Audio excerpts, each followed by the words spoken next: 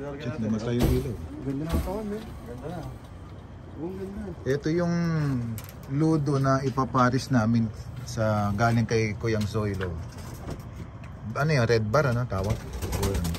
Parang checker, eh. Parang checkered red Red check. red check. Ganda. oh. Kasi bata pa rin. Ano siya yung parents niya pareho na ludo? Hmm. Kaya sa pinsan ko to sa California, mamatay ilaw. Ayan. Oh. Yung parehong pare, yung ludo na nasa akin, bigay ni Kuyang Soy. Pareho yung ano, itsura, ganyan. Simple yung ilong, tapos mahaba yung tuka. Ayos. Iabang natin. Hmm. O, diba? Ayan po si... Malaki, no? Malaki. Ang ganda ng katawan nila. Pahaba. Pahaba Maganda siya. rin sa maliit, no?